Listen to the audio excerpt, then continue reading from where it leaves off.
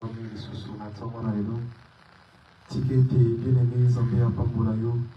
Yo oyo bien-aime Nzambe asali ngolu, Nzambe asali faveur ya kozala selectionné parmi les vivants bien-aime. Tika ete bisika ozwami ndeko na ngai, Nzambe aleka na komona yo na libota na yo. Bien-aime na kati na moment oyo tozali kokende kozala concentre bien-aime bisika ozali ndeko na ngai soki lelo ozali na kati na pema soki lelo ozali na kati na ndako na libala soki lelo bien-aime ozali na kati na kobota bana ezali bobele ngolu na nzambe faveur na nzambe mpe bolamu na nzambe na kati na libota na yo bien-aime na kati na moment oyo naza kosenga yo ete Tozali kokende kozala concentre liboso na Nzambe wana bien aime. Kotala bolamu na Nzambe bien aime na kati na vie na yo. Na ndenge Nzambe bien aime asili ko proteger yo semaine mobimba. Bien aime, Nzambe apesaki yo makasi ya kosala mosala. Bien aime, okumbaki mutuka, kasi Nzambe nde abatelaki yo mpe aprotegeaki yo na semaine mobimba. topesi topesaki nzambe wana eloko moko te bien aime tozali kosala misala oyo tozali kosimba bainstrument oyo ekoki meme kozokisa kasi nzambe nde azali kobatela biso mpe kasi nzambe nde azali koprotege biso bien aime topesi nzambe wana eloko moko te kati na ntongo na lelo naza na kati na kosenga yo bien aime bisika ozali na kati na moma oyo ozali kokende kozala concentre liboso na nzambe wana tozali kokende kopambola ye oyo avandi na bisika esantu tozali kokende kopambola ye oyo akokani na moto te na kati na se na moi oyo bisika ozali ndeko na ngai tozali kokende kopesa nzambe bakombo na lokumu na nkombo na yesu masiya tokoleli bongo yawe tozali kopambola yo kati na moma oyo yawe kolo tomoni te oyo akokani na yo na ntongo na lelo yawe kolo tomoni te na ntongo na lelo oyo abatelaka lokola yo yawe netolama na yo na ntongo na lelo yawe sanjolama kati na ntongo na lelo yawe kumbama na yo kati na ntongo na lelo yo lobengami el shadai aleluya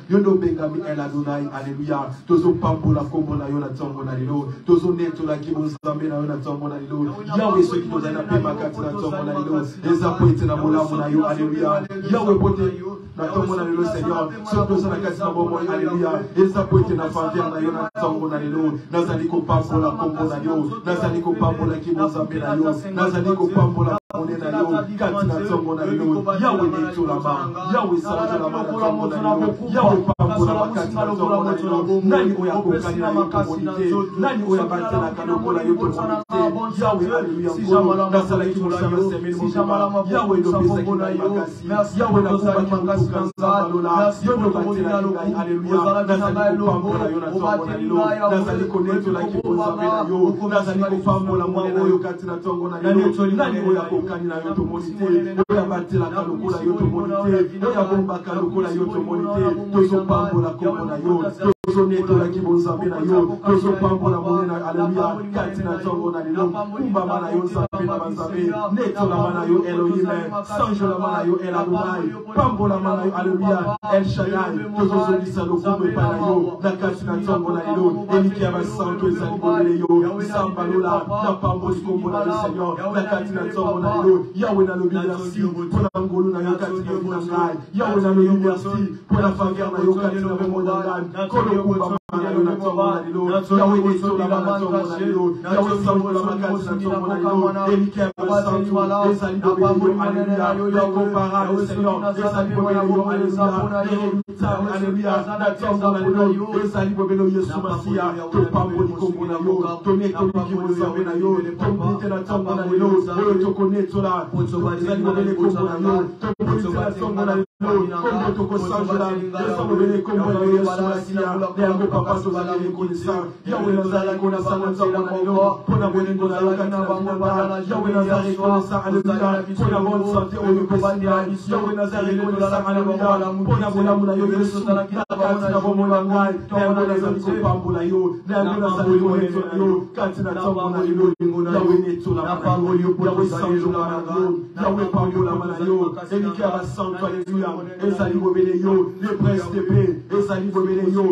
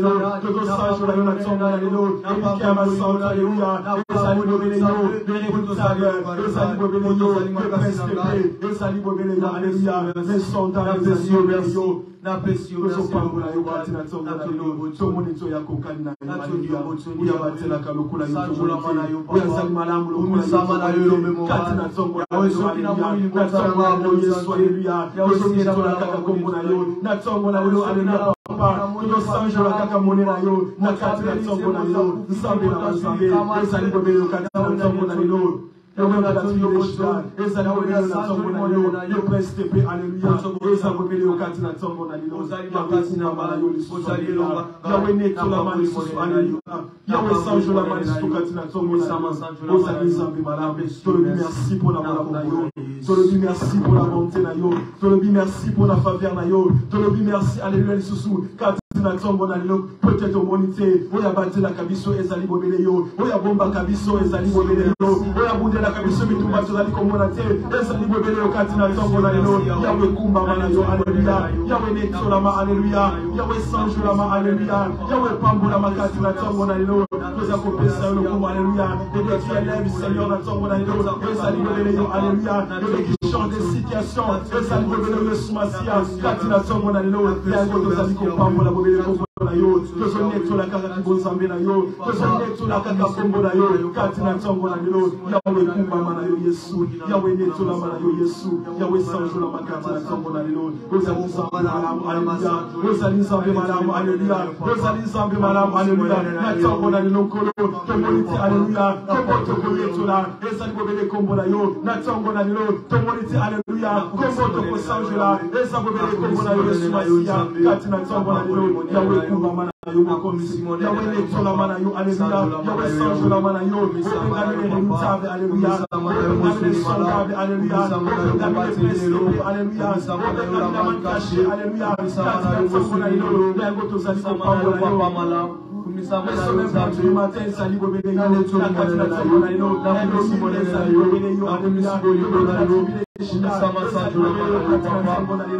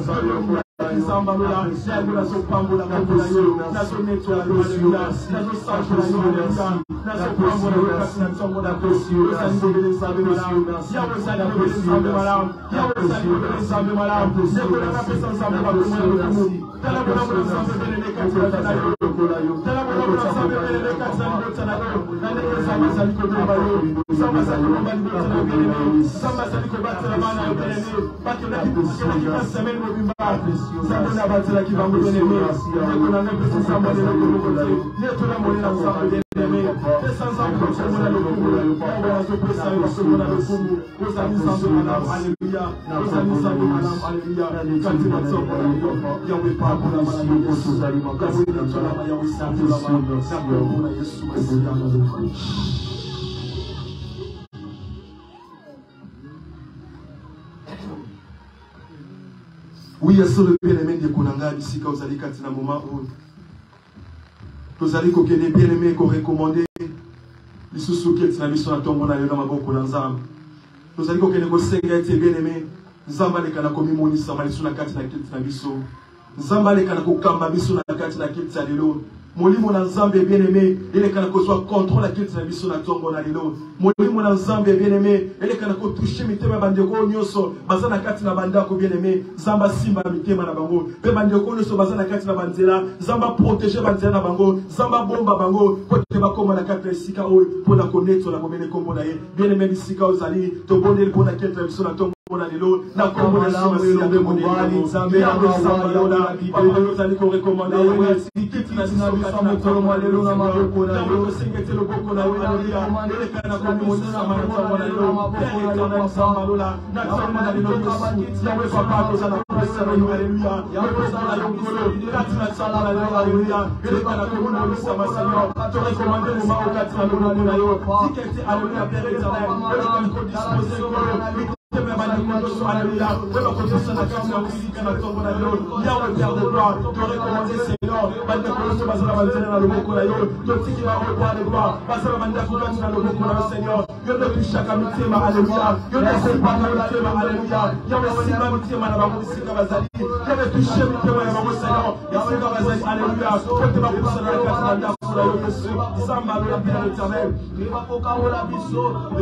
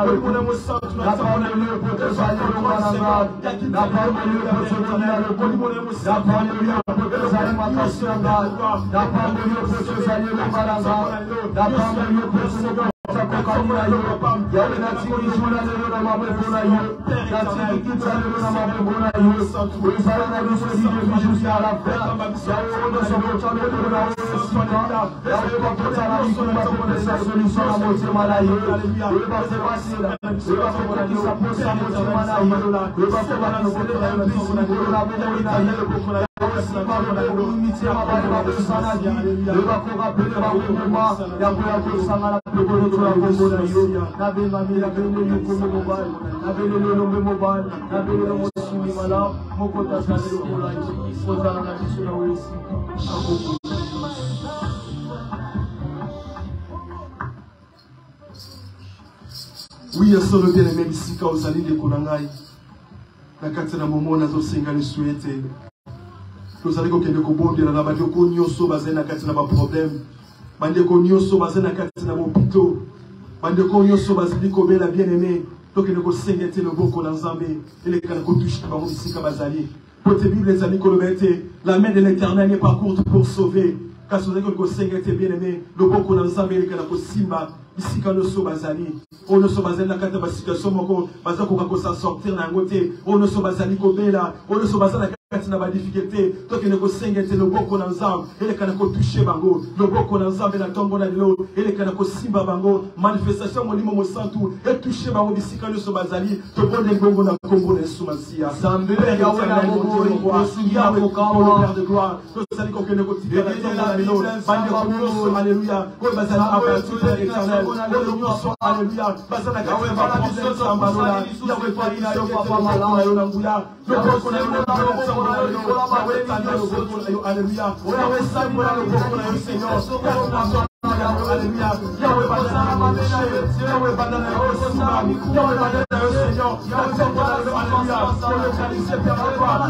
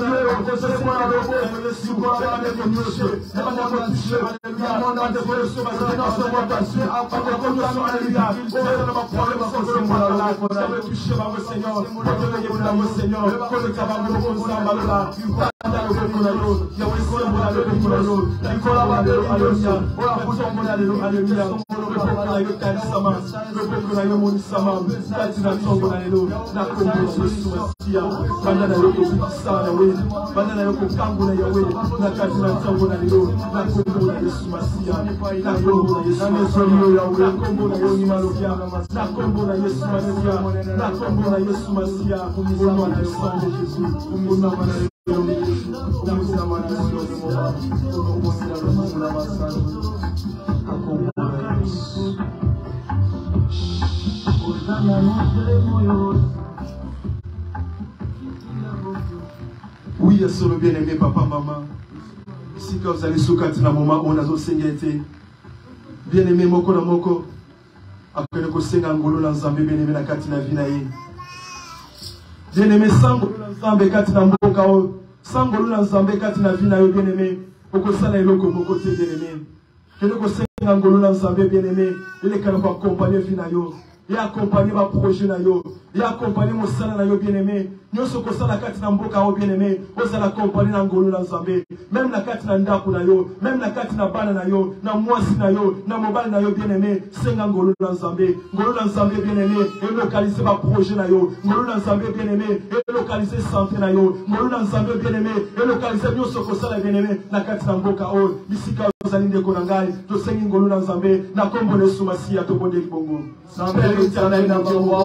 yawe naza kosenga bobele ngolu na yo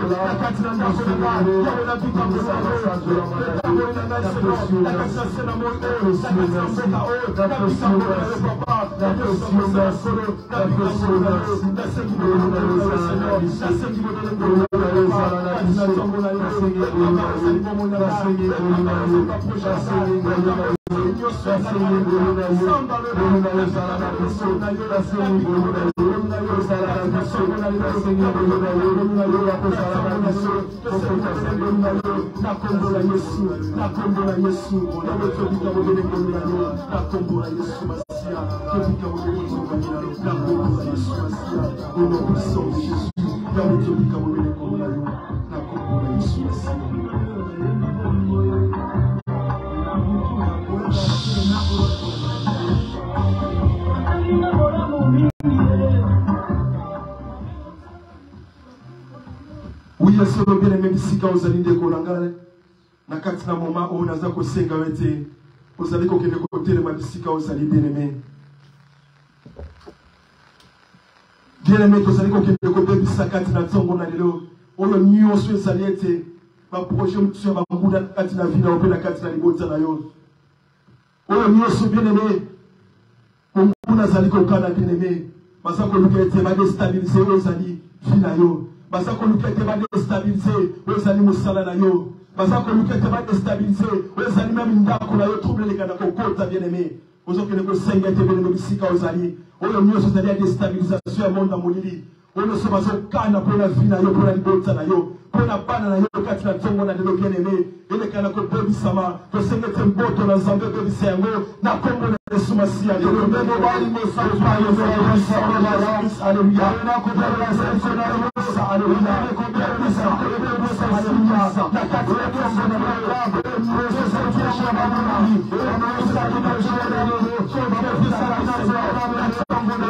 Thank you.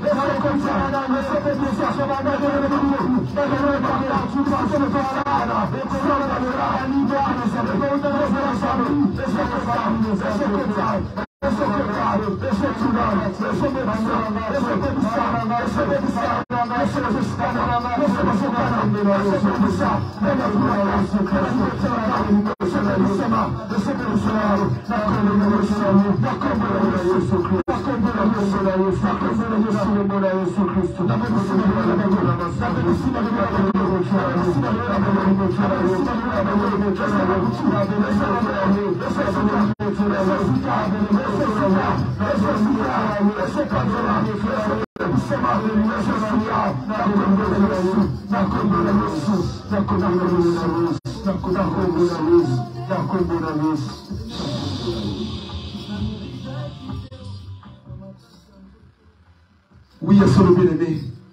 Tokomi na moment où toni koyoka liloba na Nzambe. Bisika ozali kati na moment oyo kende kosenga ete Nzambe alobela yo lisusu kati na ntongo na lelo. Nzambe aleka na kodispose mombo na yo obongisi kati na ntongo na lelo. Liloba oyo ekobima kati na yo esika bien aimé. Eza liloba oyo ekoproduit ba miracle mpe ba guérison. na kati na vie na yo bisika ozali ndeko na ngai tobondeli mpo na liloba na nzambe na nkombo na yesu masiya nzambe nzambe malami mosungi na kokamwa yawe toyi kosika moma liloba na maboko na yo elombe yawe papa malamu oyo bakodispose matoi na biso mpo todibaka kokate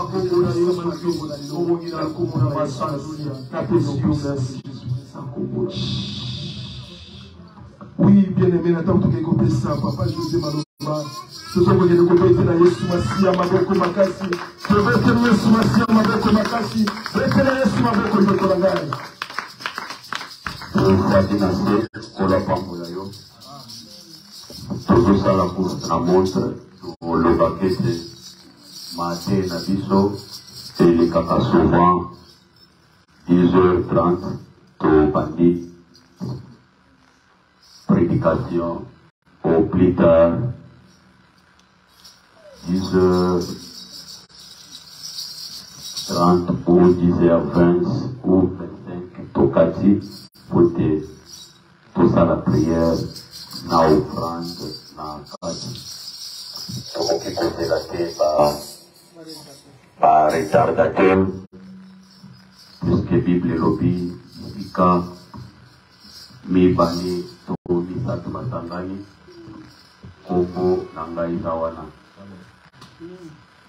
c'est-à-dire que ndenge opusani boye de le saint esprit ndasepelike omikuta kati na esika oyo na ntongo ya lelo Tozolobela likolo ya vient et voir. Vient et voir. C'est-à-dire que avant totanga verset na biso ya mokolo ya lelo na kolinga mpe ko Kotalisa yo eloko moko ya mutuya eza ke mipesa na nzambe nzambe aishuaka na ka ya mutu moko te amen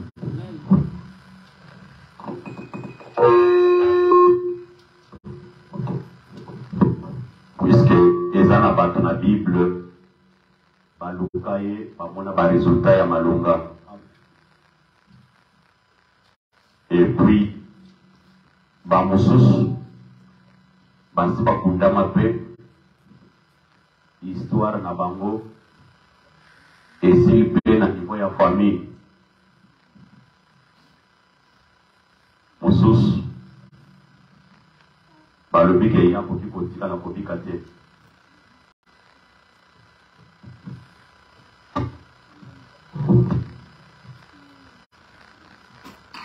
me na nzela na nzambe amikuti abiki c'est-à-dire que ndenge oza wana problème oza nango ekokunda yo te sans que nzambe aintervenir puisque azali oyo wapi ayaka moto asuka na vie ya moto soki otangi bible otali bato nyonso bakutana na ye aya avant problème te aya kaka toujours après problème c'est-à-dire que ntango azoya après problème seke azoya te te akokisa mposa motema na yo c'est-à-dire que nzambe kati na kotala bitumba to mpasi oyo moto akutamaka na yango Azelaka bisika mayele ya moto wana ezosuka nde ye azoya siko mpo ta intervenir euh, na ntango bakangi joseph azalaki wana akokaki mpe kointervenir kati na kosala ke soit libulu ezala place wana te puiske nzambe aza capable ya kosala ke Soki moto aza na projet ya kima beta moto masasi ntango ye azosimba kaka monduki na ye nzambe aza mesure ya kosala ke monduki wana etomba mpani esala te nde moko akoki kosala liboso ya komba ya joseph mais chose grave atiki Ete mayele ya bandeko ya Joseph ekokisama, mais basimba molimo na ye te. Loba na bien. Na ntango ya obi mpe na kaya na kaya ya ndeko na biso Job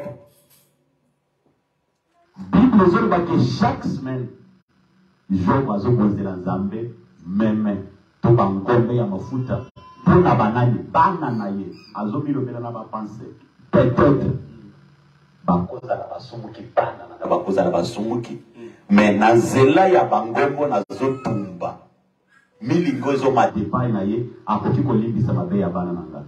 Me tala moto wana, Nzambe azokutana na Lucifer, azoloba ke kende okotushe biloko nyonso ya ye, me bomoi na ye okosimba yango te. Nakoyebisa na tongo ya lelo, malgre bitumba eza liboso no, me bomoi na yo bandoki bakosimba yango te. Pourquoi? Puisque oyo aza kati na yo aleki bango nyonso na nguya.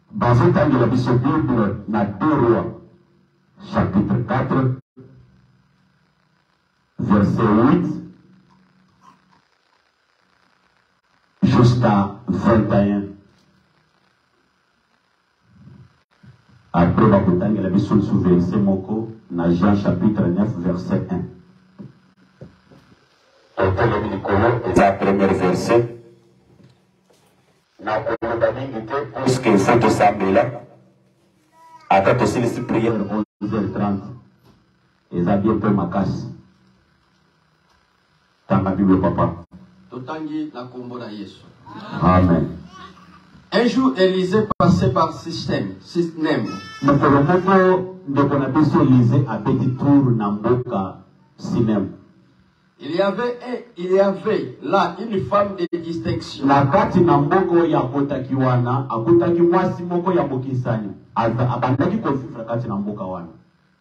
Qu'il est pressant d'accepter à manger. Mwasi ya bokisani oyo chaque fois abondelaka tata oyo Leka ata na ndako na ngai, sala ata priere, pambola ngai, nasala ata ofrande. Soki okoboya koleka ata na ndako, pesa ngai ata programe ya priere, landela makambo naza na yango. Motema na ngai esekomi na suka. Tofandi na se. Est-ce que tokoki kokota biloko na ngai maboko makasi bisika tozali? Mwasi oyo nini etindikaki ye liboso ya Elize? Ezalaki esprit ya Nzambe. Na se ya mokili toza na esprit ya Nzambe, toza mpe na esprit ya Satan. Na se ya mokili ezalaka na esprit oyo etindikaka motu na pasi, mpe na se ya mokili ezalaka na esprit oyo etindikaka motu na esengo. Esprit oyo etikaka mutu na esengo eza esprit ya nani? Eza esprit ya Nzambe. Esprit oyo etindikaka mutu kati na pasi eza esprit ya nani? Eza esprit ya Satana. C'est-à-dire que kati na esprit ya Satana yango esalaka ete mutu azanga esengo totalement. Malgré ozosambela, mais vie na yo ezala kaka pasi na pasi. Nazo sambela na ba ndeko moko na nzela ya internet. Heure na pesi requete moko, mama alobi ah papa, requete opesi eza vio nga nakutani nango lelo, journée ya lelo, journée ya vendredi. Alobi nalamuki nakuti ke eloko ya kolia eza na ndako te. Meme ata 20 fr 20 200 200 francs oyo ya kokende kosomba matembele nazwi yango te. Natala boye courant mpe bakati epakolo lopango moyen mpe tolambela recho eza te, mbongo mpe ya kosomba makala eza te. Me ntango ozotalisa ngai ke nzambe na yo aza na bomoi mpe nzambe ayaka moto asuka na vi ya moto, nandimaki. nafandaka boye namoni grand frère na nga azoya kotala nga alobi nasalaki cope moko bafuti ngai pa patron 100 dollars yango oyo nayebi te soki ozo comprendre c'est-à-dire que ntango moto afandaka aza nango te eza mpe na moto moko oyo akela yo akoki kozangisa moto mosusu kimia bisika azali kaka mpo ete asepelisa yo C'est ça la prière. Tango tosalaka prière, il faut tosukisa makasi na biso ke un jour Nzambe akovisite ngai. Nzambe akovisite ngai. Bandeko na ngai, tika moto azoboya prière, mais nazoyebi biso ke Nzambe soki aza mwana ya moto la savoir, mais soki aza mwana ya moto te, sukasuka akosepelisa yo.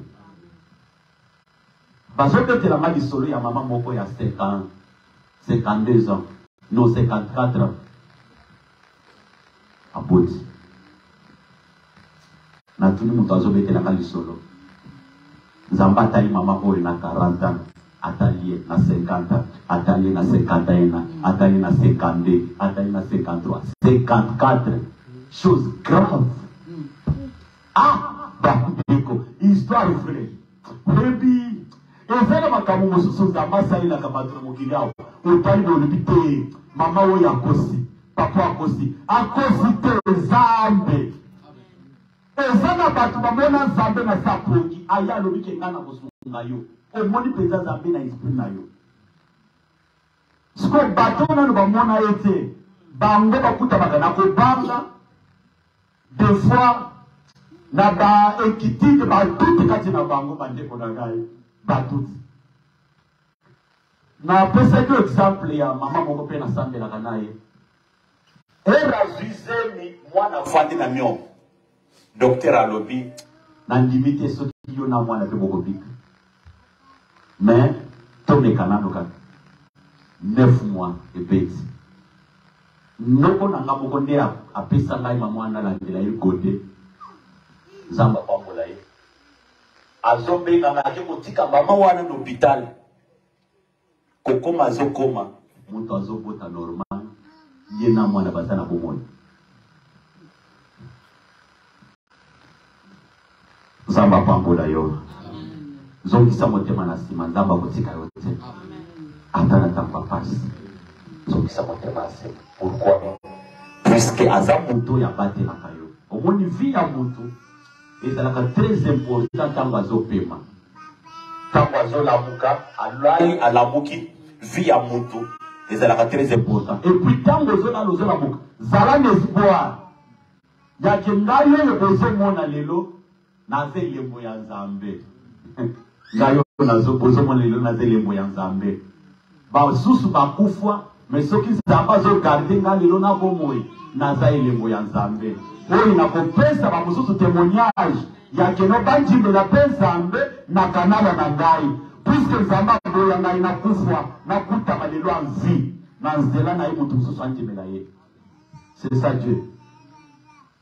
Zamba boya Yesu comme esprit. Akundama histoire histoire na ye sila. Pote bato mosusu bafinga kombo na ye. Aboya alobi ke natika ba maltraite ye basala nyonso bakoki kosala. Mais après trois jours ya kosala nini? Akosekwa. Tala sikoyo eloko mpe asalaki. Ole Lazare mpe abeta trois jours. Aboyi ke Lazare akokana na Yesu. Mais Lazare abeti combien de jours? Quatre jours. C'est-à-dire que pasi na biso ndenge tofanda ona sa mokili. Ekoki kokokana te. Mpe mokolo Nzambe akopambola biso, ekoki kokokana te. Mosusu akoki kolamuka na tongo aza pauvre, na poko akomi riche. Si bazobetelanga mpe lisolo ya mundele moko afandi na ndako mwasi nde alesaka ye mundele pauvre mwasi ake kozwa lettre ya divorce Zoka nde mundele akendaka bisika ya ba restaurant biloko soki elali babwaki azokenda azolia azokenda azolokota azolia mais jour moko alamuki aki afongoli kaka fulu boye akuti loterie baje ya loterie oyo babetaka meme na barestaurant bacasino awa alokoti yango ya 200 million de dollars mbangu ti na banque Akomi na banque, batu ya banque balobi senga nionso tolingi tosombelo, basombele immeuble ya 200.000 ya 200.000 dollars, soki ya 2 millions de dollars. Ndeko azongi na ndako comme si eloko esalami te, akuti lettre ya divorce na mesa, na boîte à lettres, azwi pe asigner. Mwasi alobi musala nionso ekomaka ya boye. oyebi moto soki akutami na ta ya mpasi koajoute lisusu te tonga kati na mpasi aza nango eza na bato mosusu bayebaka te kolendisa moto na ntango ya mpasi il faut faire beaucoup d'attention nzambe asangisaka bato mpo ete tosungana meme akoteya ndenge toteyaka boye tosunganaka ngai nalekoli eloko moko te biso nyonso toza bana nzambe Mpo nalobi moto aleki moto na mokili awa aza te. Jamais nakozala mpo ete nafanda na yo, nakoma mapeka likolo, nasola nao, nakoma mapeka likolo, comme si ke ngai naza special koleka yo. Non. Eloko esalaka bato mosusu batombwama te, eza akoza bampete bamityaka bango moko. Il faut faire beaucoup d'attention. Il faut faire beaucoup d'attention. Ngai nde naleki ye, ngai nde nasali boye. D'ailleurs, ngai nayebi ko te koleka. D'ailleurs, ngai naya na mbongo ko liboso na ye. D'ailleurs, nani aza na ndako lokola na ngai. D'ailleurs, nani asa soma na Congo. Eza ya yo, eza ya ngai te. Nga pe tour na nga pe kozala. Ngonga ya nsafu eza ngonga ya manga te. Moto aleki moto te aza awa na moto. Meme ndenge tofandi, moto aleki moto aza ezala ngai. puisque yo oza oza na moto akela yo mpe apesi yo bacapacité oyo oza nango oyo ngai naza nango te il faut faire beaucoup d'attention il faut faire beaucoup d'attention bande mundele azongi na ndako mwasi abengani ye mundele azwi telefone abengi motuka oyo ekoya komemele biloko mwasi azomona bato bazoya komemela mundele biloko bazofongolela mundele portiere Ah, depuis quand? Mundele alobi oui depuis toujours. Moto yo mona kaza matina, mais bazo fongole porte le kwa bato mususu. Wana mwa sa yebite ke no, tata wana sa so bi meuble. Et puis pe mutu ko ya eza mutu ba ne pas so ba ki kashi. soki abimi ake bakurse na ye aza na bilamba mpe na ndako na ye aza azombaki ake asechange alati abimi mpe lokola moto na miso ya bato ele azozonga na ndako azongeli kaka sandale na ye moko moko na chemise moko moko wana mpo ete mwasi atiaka te histoire vrai bandeko ntango bazokoma na cour ah, mwasi azoyebisa juge aza na mosala te Boko pese bana sec te. Juge asa betaki asa be asa asa landelaki compte ya mwasi eh, ya mobali atali na rang social ya mobali ndenge azo vivre amoni na chèque wana ndenge ekotaki puisque mbongo ebele soki okoti na Amerique bayebaka meme yo ndenge oza soki ofandi 100 000 dollars na compte na yo bakopesa bakopesa nationalité ya ofele Ba ko oblige yo ke ozwa national te 100000 ndenge oza oyo. Tanga makambo ya Amerique oko comprendre 100000 ba ko oblige yo changer nationalite puisque mbongo wana eza ebele ba moni ke oza homme capable oza femme capable donc oza capable ya ko sunga pe mboka na bango na mayele na yo. Juge azo yebisa mwasi sur place liboso avocat ya mwasi alobi oza liboma.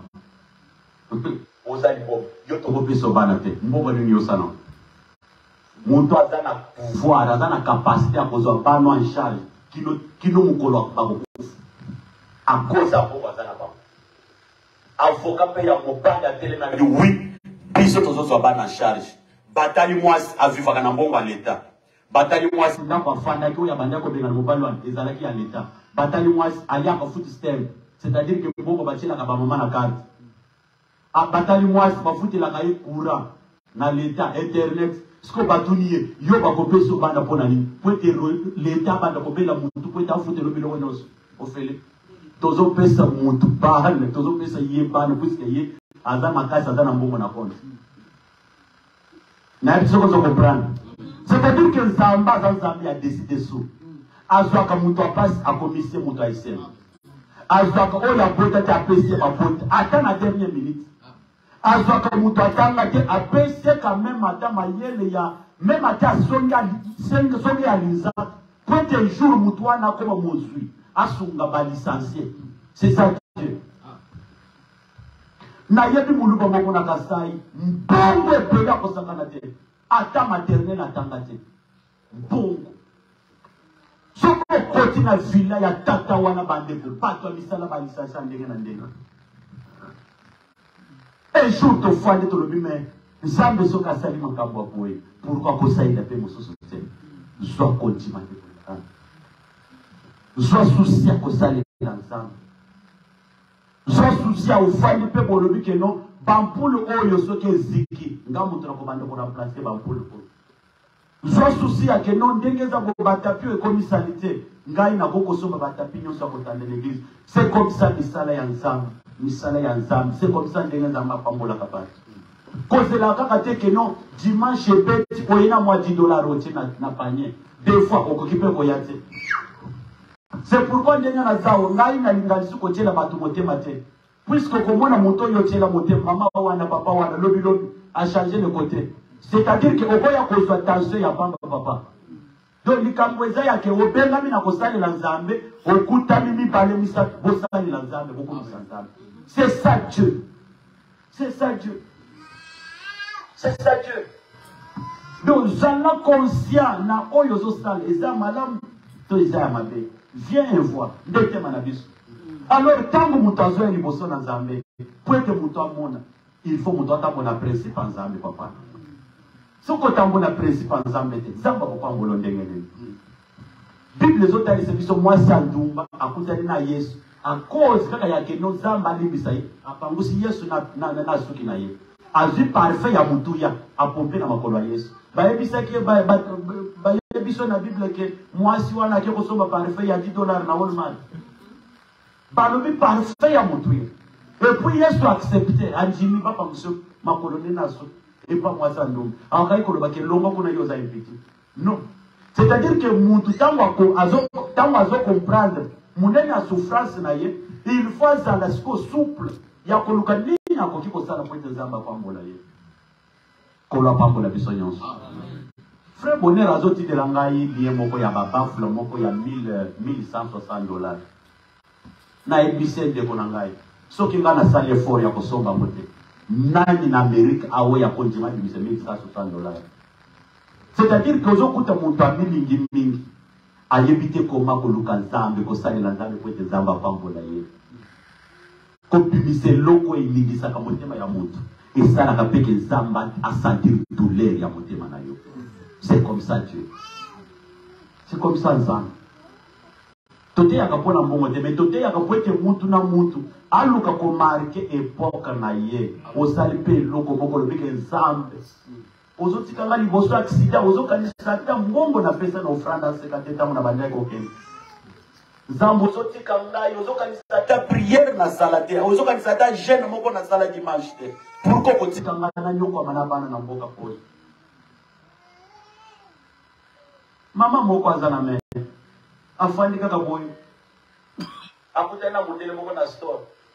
Mundele wana atuni ye, oza africain? Alobi oui, naza africain.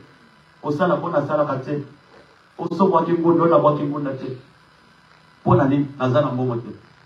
Sur place, mundele abengi ye na, na motuka, asali chèque. ena azosala esheke alobi nasala esheke na nkombo ya nani abi kosala esheke na nkombo na ngai te mais ezali napesa nkombo ya motu oko kosala esheke po ete ye nde afungola konte puiske lokola ngai naza na mikanda te moyen nafungola konte eza te basinile esheke ya 1500 dollars sur place po ete abwaka nkulu tala grandeur ya nzambe azobenga ngai alobi ke papa joseph Teya bato kondima mpe babanga Nzambe. Nzambe. Nzambe amonanaka te. Nzambe c'est un esprit. Mais na ntango atelemaka mpo na kosalela moto, makambo wana elataka nzoto. Mpe moto ye moko akomprenake, oui, Nzambe nde asali makambo oyo. C'est ça Dieu. eloko esalaka ke tokontinue kati na koluka nzambe te ezali eza ke ntango tozozwa tolati bampe te tobosani souffrance ya bomwana tobosani souffrance ya koya sika na amerike tobosani souffrance ya nyonso tobandaki koyebisa nzambe lokola bapriere Tobosani energie tobungisa otambola na nzela na Kinshasa makolo akoza koluka Nzambe obosani meme energie oyo obimisaka chaque dimanche ntango tosambelaka puisque ndenge tosambelaka bozalaka na energie moko ebimaka hmm. yebaki energie wana il faut un jour obénéficie na ebele ya bato babosanaka oyo baperdelaka spirituellement Il faut faire beaucoup d'attention. Bible ezoloba ke Elisa abeti tour na sinema. Mais na sinema azobeta akutani na mwasi moko ya bokesani. Mwasi wana ezalaki jour na ye ya kopambola mapapa na ngai. Na mituni soki akutanaka na Elise te Est-ce que miracle ekokaki kobotama na ndako na ye? Ekokaki kobotama te. Abondeli ye, yaka, leka na ndako na ngai, beta tour. Beta tour. eza mpasi papa na ngai na amerike omona moto après prière ayebi soki papa ye nasepeli après prière dimanche koleka na ndako bosambela siko mpo na bango bamona kaka ke na amerike baesprit mabe ezalaka na bandako te Orke na Kinshasa papa boza ba témoin na Kinshasa papa yoko sali ni sibele sali ko beta tour na ndako ya mondimi osala prière ndoto mabe papa na ngai naloti lelo mabe yaka bosambelela ngai papa délivrance awa nde omoni ebele ya bato tozosouffrir baliwa ya nkwasa pambapamba mm, mm. baliwa ya nkwasa na amerika eza mpasi omona moto akufa na maladi ya fièvre maladi ya fièvre loba kaka ke soit des fois ke okende hôpital wana okutani na docteur ya science oyo basi bayokani na bato oyo baza na mposa baorgane mosusu ya nzoto ya moto nde omoni babeti otonga ya mabe soit des fois opike crise basombi biloko na yo ya nzoto awa ezalaka bongo barin tusa babiloko mosusu mais soki okutani na moto ya bongo te okozonga mpe ndako na yo ovivre sans problème awa na amerike mais liwa mingi elandaka baafrike mingi awa na amerike ezaka baaksida ya makasi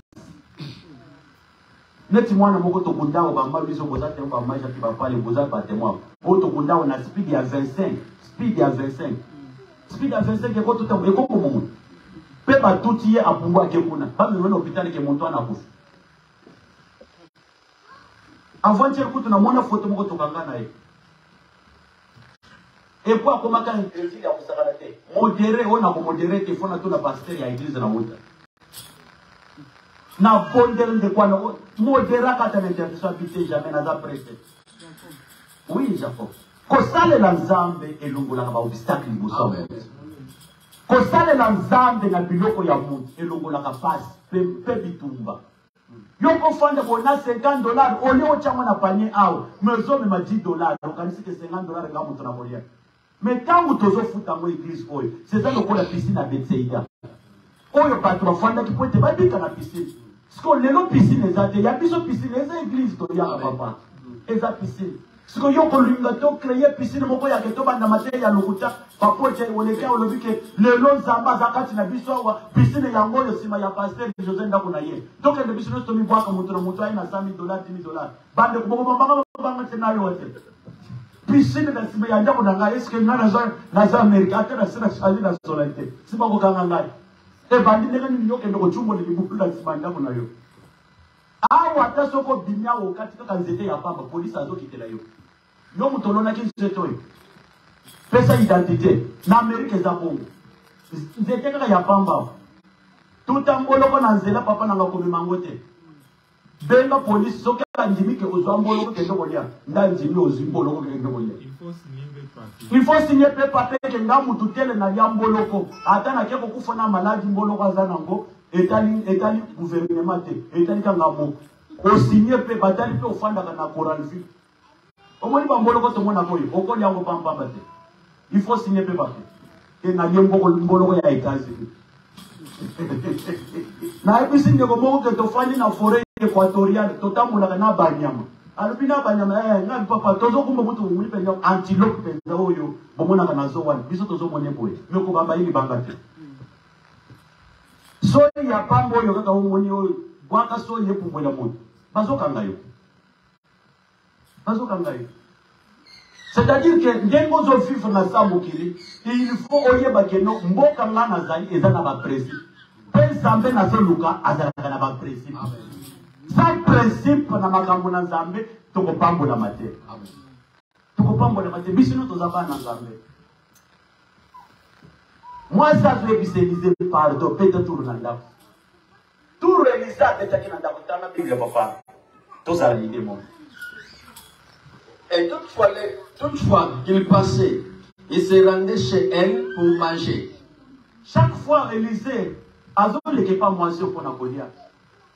Elisa amilekela te, mwasi nde moto apreferaki Elisa asala nini? Aleka na, na, na, na ndako na ye. C'est-à-dire que moto ye moko amoni ke naza na pasi, na créer le dossier ya benediction. Na Amerika moto acree le dossier ya benediction. Na mboka oyo mboka etonda songisongi, mboka etonda mankma, mboka etonda mafumafu batombaka bato na sese moye asala video atombo en face boye eza te puiske ya europe ezaka papa papa na awa te papa nozosantir kombona ezokende ondire fise mpe na bana basi te bana mibali Bana mibali ba mama. Ba mama awa songi soki ezala nde na bana mibali. Soki boyebi te. Na ba matanga, na ba fete na bango na ba mosala. Ozomona ye azokosa komema bato na mosala, azobwaka kaka kombo ya moto na sese. Bana mibali mabe balingi mpe Nzambe te, desordre na yo. Toza na bango ebele awa, me balingaka priere te. Bango nde bato ya liboso ya koboyisa bato eglise. Kolo apambola moto moko. Tanga Biblia papa. Elle dit à son mari. Ayebisi mobali na ye. Voici je sais que cet homme tala ngai nazoyeba bien ke mwasi mobali nazoyeba bien ke mobali oyo oyo ayaki epai na biso ntango nyonso ere azokende koteya evangile aza mosali na nzambe qui passe tout toujours chez nous était saint homme de dieu aza saint homme de dieu aza mosantu na nzambe awa mwasi oyo azeli te ke paster elise asala repentance epa na ye mais ye moko areconnaitre nga keno aza mosali na nzambe solo siko biso na amerike ifo to to etidie motu namonaki oye aza impitiki ye namonaki claire te tala demarche na ye ayebaka mpe koteya te ako papa bajijaka motu D'ailleurs, pasteur wana aza voiturier. Première fois, awo mwasi azoloba ke namoni comme si que c'était cet homme de Dieu, cet homme de Dieu. Ah, ah, ah Congolais, partout côté to uta, ah tie tie na yete. Ndio mwenye mboka na biso pasi. Siko tozo ko Amerika te puisque na sommet ya Amerika Congolais azate.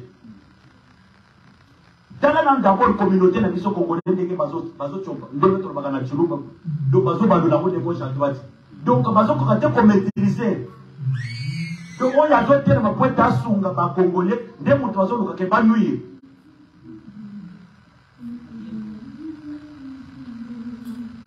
donc congolais azo linga organisation te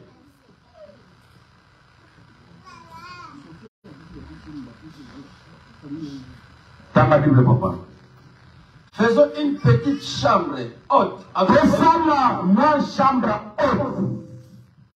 Chambre haute. Na bisika kende kolala na zamba. abanda kokota na chambre haute wana aimplolaka le droit du roi abelelaka nzambe peut-être na nzela ya nzambe oyo azobelela akoki mpe ata kosunga biso hmm. peut-être mwasi apesaki elize mbongo te papa hmm. chambre kaka ah acomprendre grandeur ya makambo ya nzambe makambo ya nzambe eza makambo ya bato ya maboma ah Bato bakomi na fanda un jour namoni papa mama moko ake na ndako ayokaka bateyi balobi ke ye te malaki soki osozwa lutu ya eglize obi oyiba elamba ya moto okotisa na ndako na yo na biloko nyonso na kati ya ndako eza babie malaki mama alobi papa na bakiti nasombaki na 3000 dollars ngabi balobi na nyonso lokola etutani nyonso na ndako moko eza bie malaki osilotake nyonso ezosanga na ndako moko okopambolama te Tongo tongo babengi biso balobi botinda motuka. Papa nyonso yaka na permanence. Quelle foi moto abandeli vie ya zero. Un jour apostila abimi depute akomota mona motuka monene abandeli vie ya zero. Tala bisika miracle eutaki. Pesa comprenaki. makambo ya zambe soki ozo comprendre yango te okomona kaka comme sike eza mase okomona comme sike bapaster bafulataka yo okomona comme sike nzamba moto aexistaka te na mikela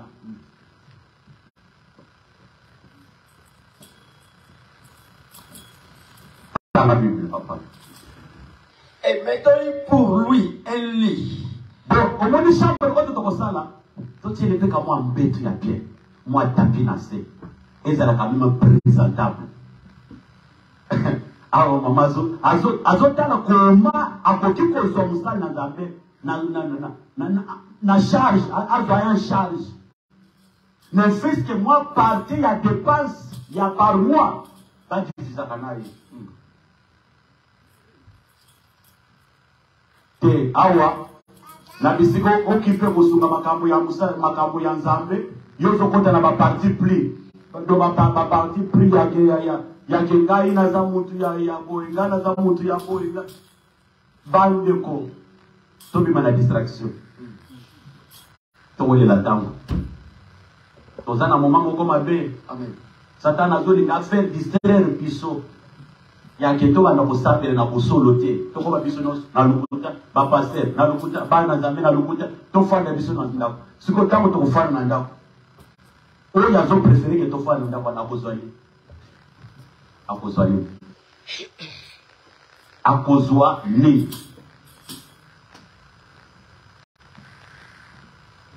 akozwa nini la plupart ya bato oyo ngai nayeba nayeba na mboka oyo bato baboya eglise bakendaka mosika te la plupart ya bato ngai nayeba tiza yango naza na mboka oyo azala mokolo to mwana Okuta ba musu bazali so envie te, okuta ba musu divorce, okuta ba musu bazo souffrir makasi. Kimia eza kati na bango. Tanga bibi papa. Une table, un siège et un chandelier. Totia totia mwa ndaku, totia mwa totia mbetu, totia mesa, totia kiti. Totia soki ata na mwa mwinda moko ekobanda ko eclairer mesa to ndako wana mpo ete abanda kozwa temps ya kotanga Bible. Mpe mama oyo akomprenaki tokotia mbeti me molili soki ezali akotanga Bible ndenge nakokende eglise mais soki na contribue na mosala na nzambe te eglise okovivre ndenge nini Eza chandelier. Afin qu'il se retire quand il viendra chez nous. Peuple azwaka temps ya kopema mpe kolala ntango azoleka na nzela na biso, ntango azoleka na na kati na mboka, puisque nzela na ye ezalaki nzela kaka liboso ya ndako na biso me na bisika ke alekaka akende kota azokende na ngomba akotaka wana apema nsima ya kopema akontinue nzela na ye Ok, papa. Élisée étant revenu à Sinem, se retira dans. mokolo yango mpe ekokaka te ndeko elize ndeko elize amikuti na sinem confusion ya makambo ya nzambe sikoyo nzambe atante mama oyo atala ke makambo oyo ayebisaki mobali ekosalama to ekosalama te omoni eza na biloko mosusu bino bobimisa na monoko bamama bapapa Des fois que obimisi eloko par sentiment, Zambe soko obikisi nga na kosala boye, Zambe soko osaleli nga na kosala boye, ozo kokisa combien? Mosusu azomona 100 dollars oyo ondire million de dollars, 100 dollars. Depot ya na Amerique ozo pesa 100 dollars na mosala Zambe. Ba mosusu basala mais mosusu azomona yango malamu atinda yango bandeko ne bamela masanga na Afrique. Kwa fanda ata boye kotala ata que non ba kits oyo ba bilamba ese komi salite to longola yango to tia ata bilamba ya pembe pembe. Ceza na moto oso fandi ka bolobi ke couleur oyo ekomi mabe. Même ate eza normal papa changer yango na sala couleur na tia couleur mosusu. Ube papa toko tia ata ba, ba rideau ya église oyo mobimba. C'est comme ça Nzambe ndenge asalelaka bato. papa tozalaka na babafula ya reserve me babafula ya reserve ezika e babafula tobanda kosalela ezika oyo eza babafula ya reserve tokosala nini mpo ete tosomba babafula mosusu si nde moto asalaka c'est-à-dire que ntango moto azomikuta de fois kati na kozanga A raisonnaka eloko ya malamu mpo na kosalela Nzambe mpo ete Nzambe asalela ye. Asalela ye. Se eza ndenge Nzambe asalaka. Eza te ke moto azosala over time kobanda di lundi au dimanche over time over time sikoyo ozongi na ndako ozokaka ata kolambela bana fufu te mokongo mpasi oyo monamkende hôpital eza likambo ya hôpital te eza likambo ya kozwa discipline Eza likambo ya hopital te. C'est-à-dire que ya yo Bible ekomi yo vrai taille. Ya yo Bible o vrai taille. Siko zamba ko biso ndenge papa na ngai. Ya yo Bible o vrai taille. Zamba zotale na mwasi oyo soki akokokisa maloba oyo ayebisaki mobali na ye. Zamba tante ye, Elisa ye. Total sikondi moko. Neti yo zamba bikiso na accident. Zambe na kosali lo frani. Zambe na nga soki na kena Amerique. Zambe na nga mbongo na nga liboso na kopesela yo. Na pasteur notika na Congo so tibela yango. Ba mosusu batinda nde parti. Amoni kaka 500 dollars ekoti na compte oyo ya semaine ya liboso wana olia. na pasteur no na pasteur ya amerique abalia eloko te nyongo wana nzambe atangelaka yango bato papa nzambe atangelaka yango bato ndeko moko aye asali besoin na kati na eglize moko ya mboka biso toye tobongisi po ete tozonga na 23 heures toya kosala veye ya le 31 ye azongi lokola eglize ezalaki ya mandalal asali besoin akei toye kozonga papa ah, me towutaki kobongisa baba awa nani asali boye Ndeko wana aye ko se presenter te. Nzoka nde bazali ka ba voisins, toye tosali prière. Nzambe mutu asali eloko oyo. Azala mukolo to muana, kutana na ye. Azwa lifuti na ye. Papa ebeta un mois te, baye na muana mobali libumu boye. Nzambe afandi alobi akokufa. Na limbise mais akosala nini? Akokufa. C'est comme ça Nzambe. Eza na batu mususu ozwi souffrance libanda oye na eglise okufeli mpe na eglise c'est comme ça nzambe pourquoi puisque oye na ngonga ya po bible ezoloba yesu azoloba pendant que je suis dans le monde je suis qui la lumière du monde et la nuit vient ou personne mutu moko ntango kakotravaille c'est-à-dire que mutu asalelaka nzambe ntango aza na conscience ntango aza na makasi mpe ntango azozwa koya kosalela nzambe te maboko ekomi pamba makasi ya koluka mbongo eza lisusu te okomi parte nde okomi koloba ke nzambe sunga ngai un jour nafandi telefone yango elei na ba 2 heures du matin papa asambelelanga lokolo eza ya kovimba papa nanga moyen te Nabengi pasteur na ngai azo yamba telephone tse. Nalobi maloba na telephone nzambe na kombo na yesu nalongoli douleur na nzoto na ye ti tongo etana lokola ekomi normal aye kobenga ngai alobi papa na doutaka na yo nandimi koza mosali na nzambe puisque maloba olobelaki ngai na ba 2 heures du matin epesaki ngai mpe courage na kolongola kobanga nakanisi yango ndireke eza eza cancer puisque nazalaki na mwa pota na lokolo ake mpe na hopital basali test neya eza pe na ndeko moko oyo apesaki nga mama oyo abotaki na miom na aboti mwana afandaki na miom docteur ayebisaki ke non bino nyonso mibale bozokufa munganga azoyebisa ke ndenge oza boye oza na kanser ya nzoto na bino basi tete ndenge oza bokozala na vite ya kovivre il faut kende osala test tokobelo bakisi olandela traitement papa bovila na ngai tosali priere bavoi esita na telefone awa ndeko azoyebisa ngai alobi ke papa toke tosali batest nyonso bakuti ngai na eloko moko te pourkoi puiske olendisaki ngai nakomaki koyoka ondire deuxième voi ezolobela ngai na matoi monganga alobi ke okotikala kobota lisusu te osui kaka na bana mibale Zambe na komi kokufa avoir l'âge na bomwana nyonso natika bana nga nano basilisi classe te nayebisi ye mama nani asali nzoto ya mwasi eza nzambe nani apesa ko makasi ya mokolo na mokolo eza nzambe nani asalaki oyeba kombo na ye eza nzambe sikoyo okondima ke nzambe atika yo kufa puiske munganga apeso resultat jamais mama na nga mama jacques oyo mama akutami na zemi soki ba 2016 soki ba 2015 munganga ayebisi eke ndenge eza bomwana na libumu asali besoin uswati yo uswata mwana nabimi na mosala abengi ngai tosali priere mama lelo mwana aza nzi te ah bandeko siko moto aboya koyebisa ke josé aza mabe josé bayebisanga ke no aza impitique josé aza moyibi esiko ya mabonza siko akobamba yo banda na mosala te eza na bato mosusu soki olobele mabe ya motu ya kobwaka elozoi puiske aza na oyo ya vivra ye na priere ya motu wana puiske na se ya mokili motu na motu aza na oyo atyela motema pas dimela c'est ça dieu mwasi azoyebise eh, elise azoyebise mobali tosala mwa ndako omoni mwa ndako oyo totyaka bilamba eh, mwa closet wana totya kaka mwa mbeto ata eza moke ye moko nde akolobaki eza moke bopesaka ya monene mais soki adute te aboyi yango te biso tokozwa libamboli epa na abe omoni na vie pesa motu sanki asenga yo mama moko aza na eglise awa nakoloba quand est-ce qu'aya na église te asombi lopango na congo ntango tozalaki na coranville nafandi eyeli nga kaka naloba nzambe nde asepeli nafandi kaka balobi ke papa ye eza lopango na ngai liboso nasombi naye kopesa ofrande puiske yo moto oyambanga na mairie bande papa nayoki na chef de poule na mituni nga bipandeke naza na bamosusu na eglise ya ye makambo asala kaka na kukukuku mosusu batunanga o papa nayokaki ondire osalaki eloko boye pourkui oyebisi nga te nayebisi ya yo oyebisaka nga naza papa na molimo nasutoka kaka te ozo osali boye osali boye eza na bato mosusu abo nga mpe nakoyebisaka yo te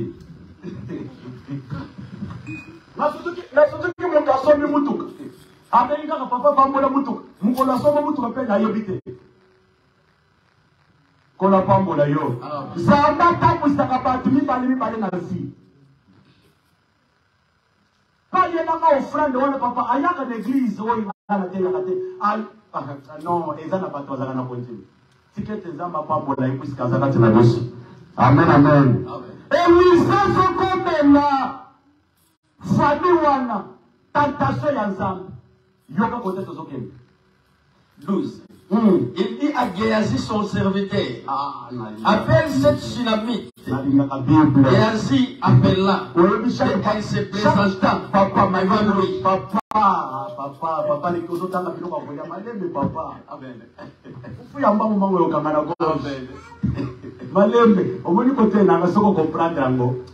okosepela na ngai amen amen nateyaka moto nyonso akomprenaka ke nabimi na quelque chose po obimi konsole nkolo apambola moto moko amen amen ntango elize azoya nzoka nde elize aboyi kokoma na porte na bango ya ndako asoki nano na libanda ya porte ya lopango azobenga geyazi omoni pastere nyonso azalaka na geyazi na ye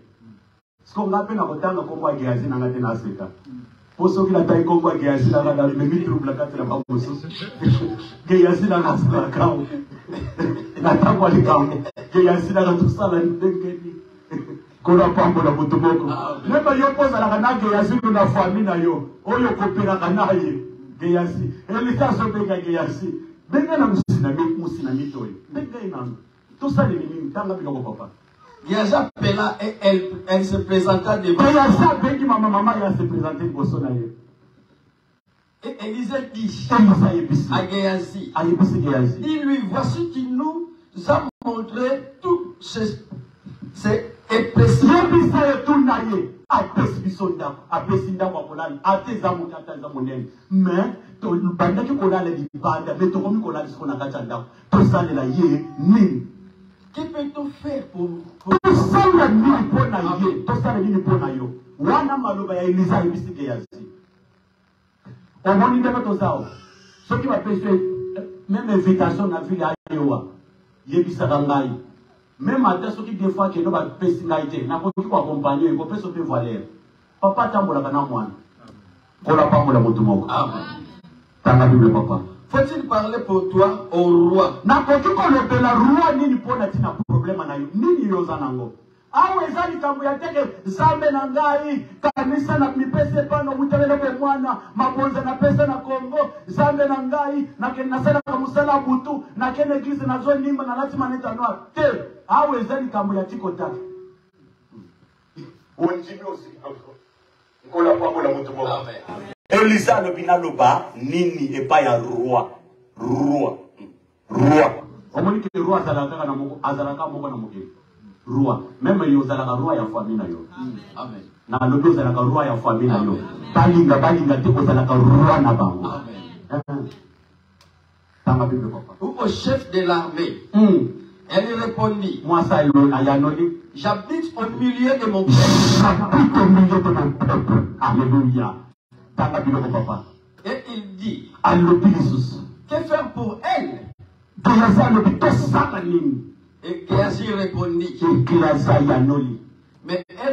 wana geyazi amemi message epai elize sikoyo elize atuni geyazi tosala nini mpo na ye yoka sikoyo geyazi abandi korepondre malobo mwasi ayebisaki ye elle n'est point elle n'est point de fils aza na mwana te et son mari est vieux d'ailleurs mobali na ye akomi mopange Hein, papa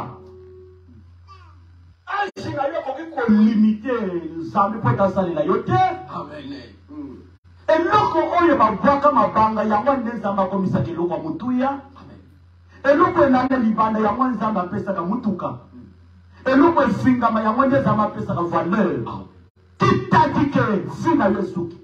Qui t'a dit que yo okoki kozwa valeur te? Qui t'a dit que ndenge oza boye okoki kosepela te na vie? Kotala eza makonzi na yo te, ya ebele ezoya. Pourquoi? Oza mwana na Nzambe. Pourquoi? Oza na misolo na mokili. Pourquoi? Ozopema. Batikala koyebisa ngai age moto akoki kopambolama te, mpe age moto akoki kobala te. Qui t'a dit que soki moto aza boti akoki kobala bisu te? Kitani te soki moto abeli akoki kobika te. Nani ayebisi yo? Toza na nganga ya banganga, le reparateur de brèche, l'homme de Galilée, celui qui sait grâce à qui il fait. Soki ondimaka na tonga lelo akosalela yo ngolu. soki olobaka na ntongo lelo olobi amen na ya bien akofongolela nzela azobanda kosala nayo azobanda kosala nayo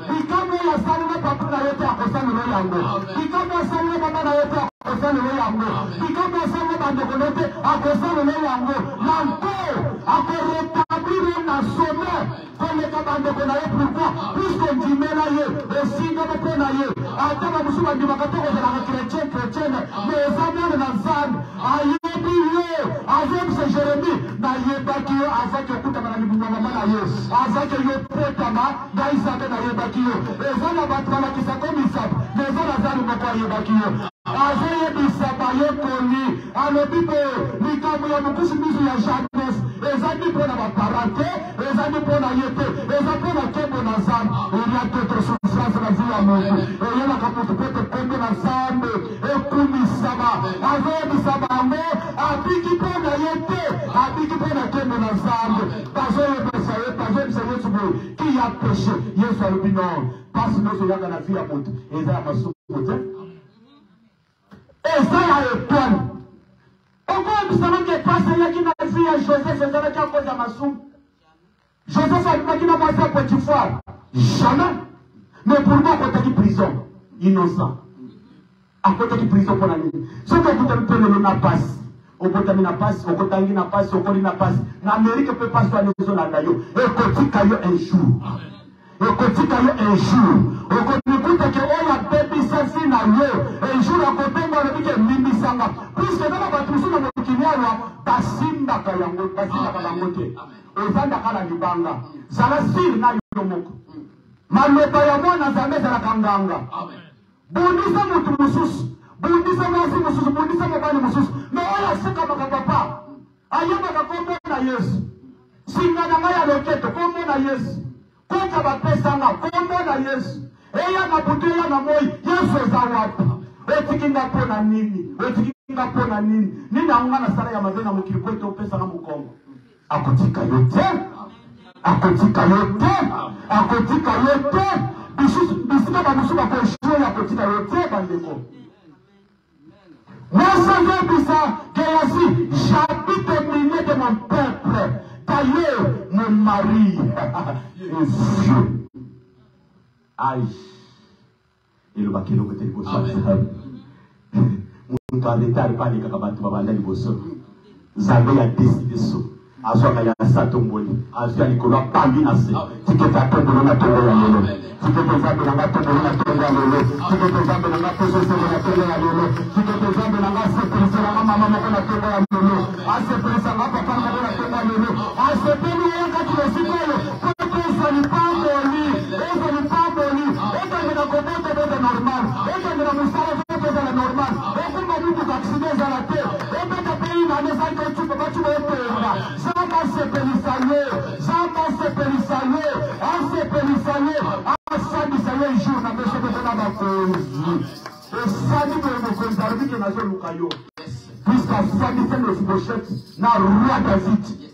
moto abukana maboye makolo abukana na age ya 5 ans pandeke mama mosala azokima na ye na mokongo akweli abukani makolo abandi kotambola azobenda lokolo akweli kaka na faiblesse wana moto na faiblesse koseka ye te moto neta faiblesse koseka ye te azala bala te abala te koseka ye te azala tanga te atanga te koseka ye te azala aza nango te aza nango te koseka ye te pourquoi faiblesse na ye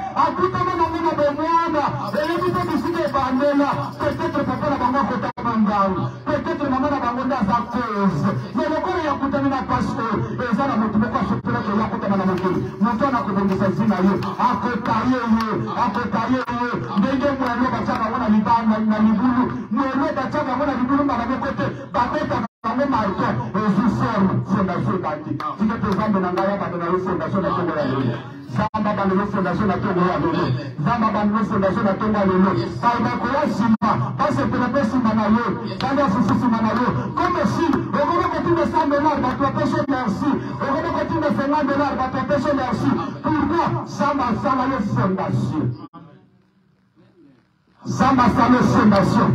Nalamuki na ntongo ya lelo nayebisi Nzambe nakoteya te nakoteya te lilobo moko oyebisi nga na matoi okoteya puiske nzoto oza nango nga moto nasala yango esalama na mashini te esalama na mashini te nayebisi ete lokola olobeli nga na matoi nakoteya mpe nakoprepare mpe mateya te mateya ekowuta kaka na inspiration na yo nazoleka yango nasambeli mpe na butu te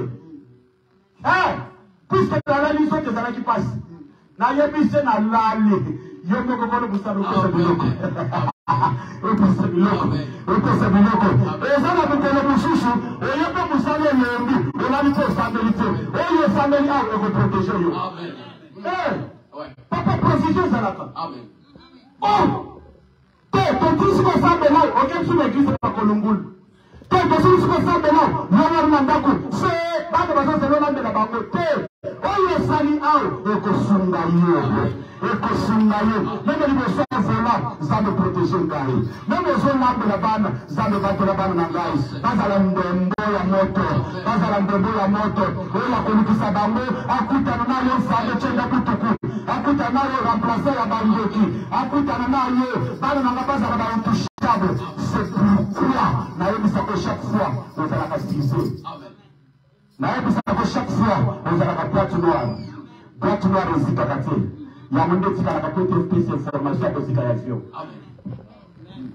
Bakoki kolia bato nyonso, me yo bakoki kolia yo te. bakoki kolia yo te, puiske Nzambe atia yo kati na bango mpo ete opesaka information nyonso epai na ye. Alléluia. J'aime la Bible. Nalingaka Bible bandeko na ngai. Eh!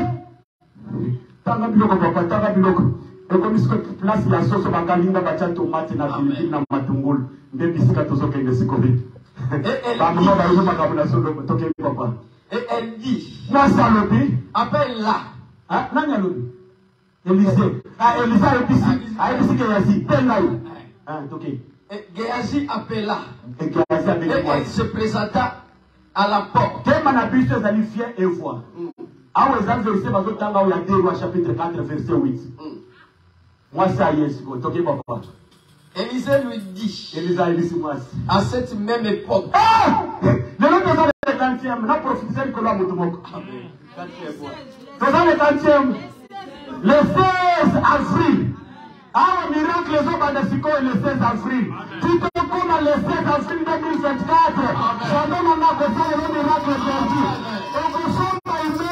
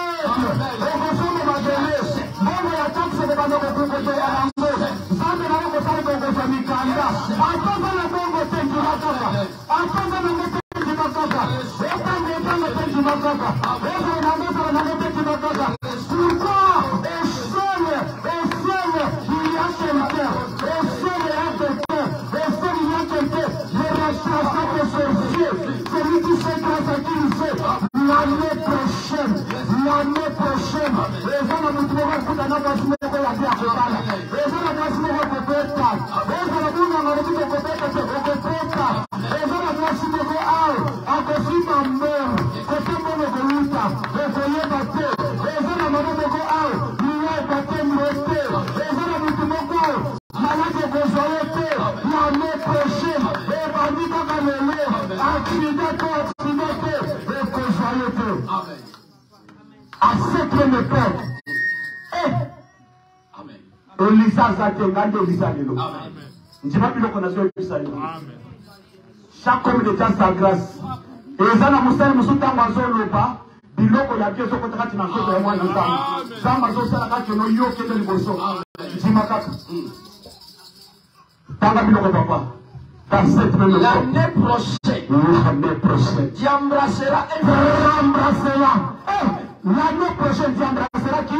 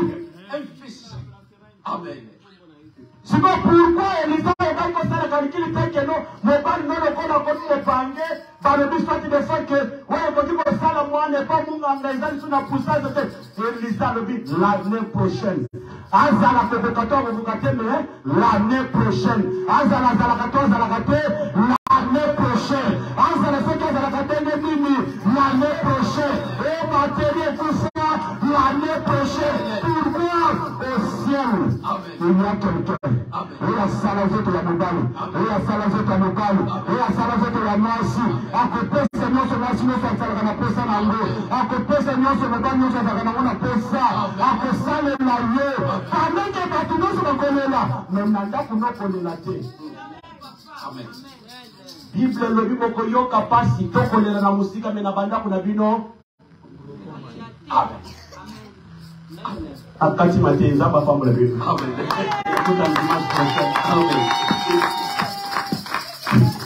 ndeko moko ayebisana ke na amerika letat c'est l'argent bon na biso batei papa il faut torespecte kaka okozala te koonction saint esprit akiti lokuta saint esprit ayokaka moto ateya oyo naseperelaki nazotala montre te te yo nde osali tobima retard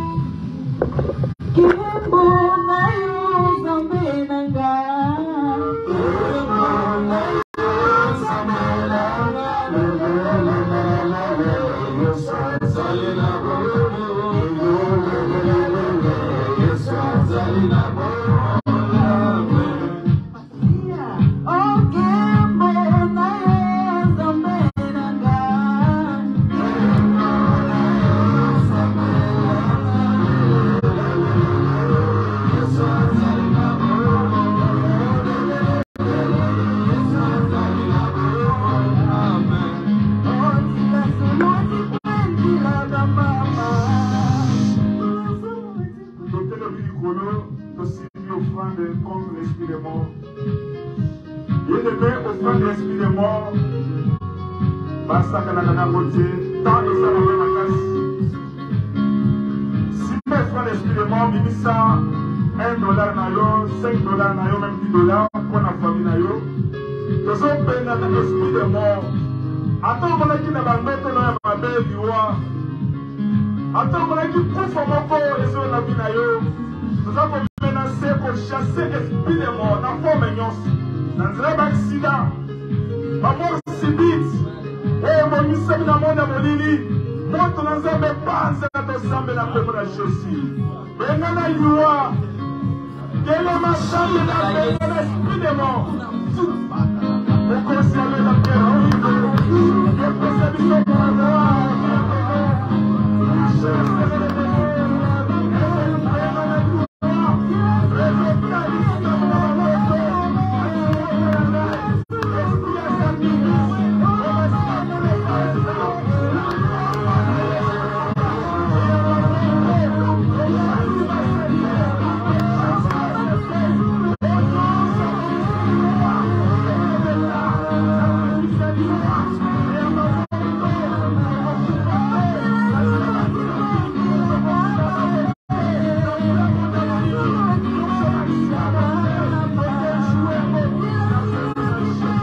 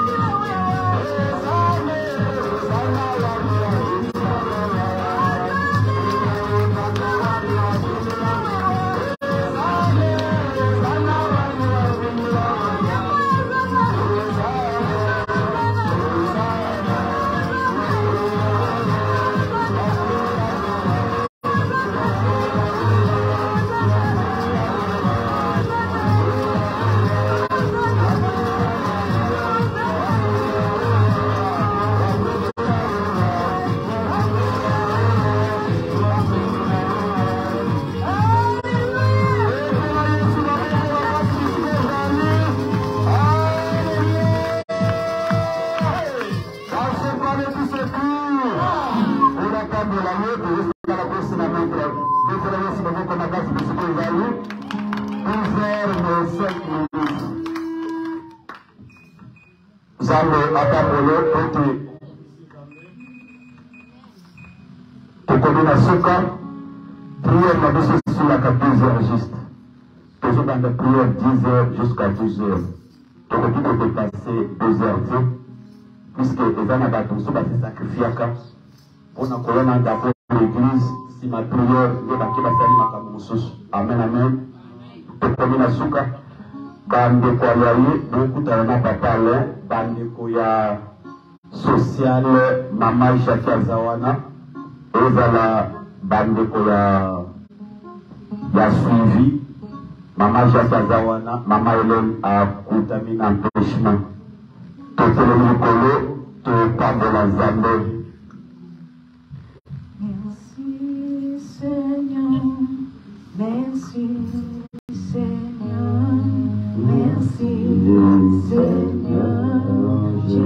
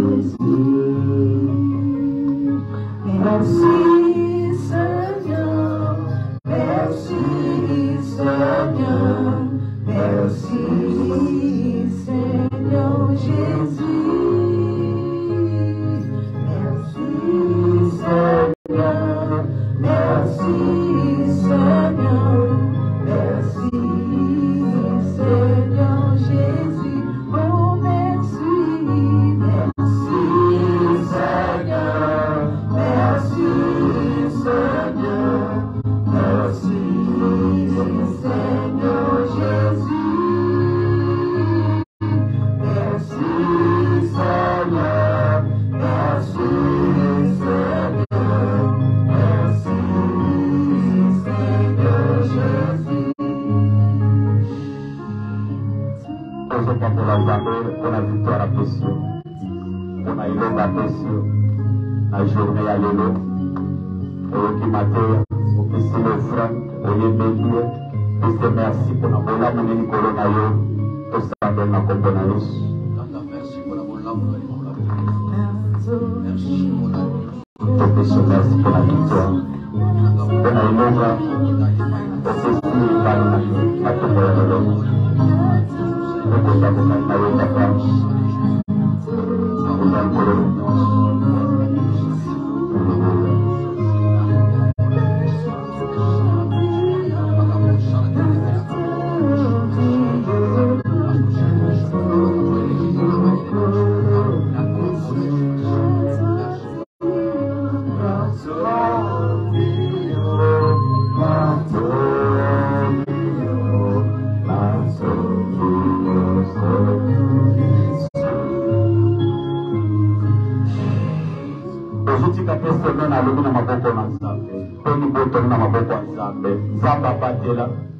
Nzambe oyo asalela pharmacie na mit asalela yo mpe bana na yo kokende klase na mboka oyo aprotege butu bozokota mpo na mosala nzambe abatela biblia elobi bokoyoka kufa na mosika me na bandako na bino bokoyoka yango te ozala intouchable na nyonso okosala semaine alobi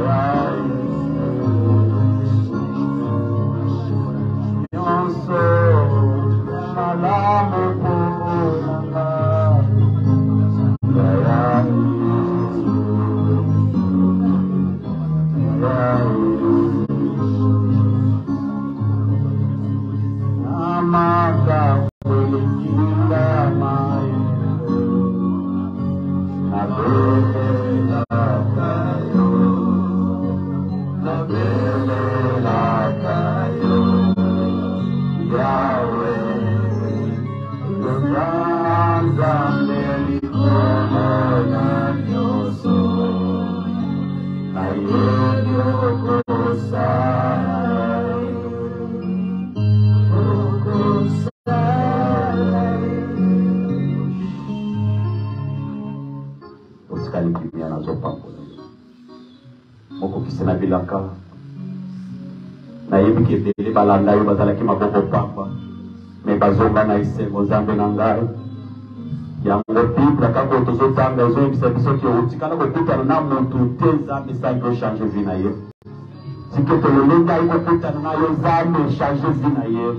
Kimia oyo azwi na nzela kosalina na mateya, kimia wana elata nzoto na ye.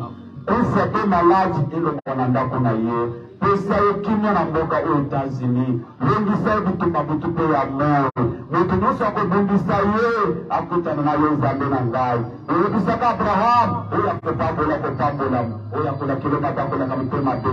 Tika ete ye mpe Nzambe na lola oyo nyonso akobundisa na mboka oyo akutana na yo Nzambe ya mopanga na pamboli ye. Tika ete Nzambe sante na ye pongi na ye mosala na ye nyonso ezala na sale boko na yo bana na ye ndako na ye ezala na sale boko na papa na ngai makila na yo ekouvrir nyonso akosala semaine alobi totiki te semaine oyo na maboko na yo zambe dimanche tokutana apo na gloire na yo ezala veye ya vendredi tokutana apo na gloire na yo